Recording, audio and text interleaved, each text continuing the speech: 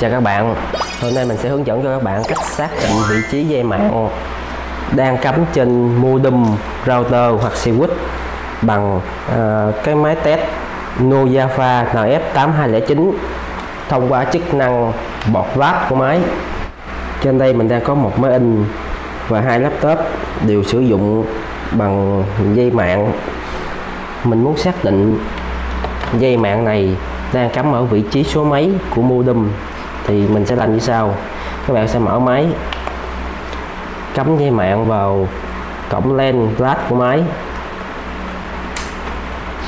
Các bạn vào cho mình chức năng là flash các bạn nhấn ok. Máy sẽ tự động link test đến cái cục modem của nhà mình. Đây, đã thành công. Và máy sẽ phát một cái tín hiệu hai đèn hai lần và tắt để truyền cái tín hiệu này đến cho cái cục modem nhà của các bạn. Sau đó các bạn sẽ đến cái cục modem nhà các bạn sẽ kiểm tra. Ở đây mình đang có cục modem hiệu ZTE của FPT mình đang thấy là ở cổng LAN 4 nó đang chấp đèn hai lần và tắt.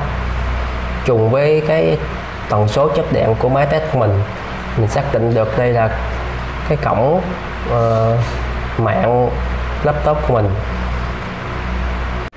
Cho mình một like, một follow, nếu các bạn thấy hay.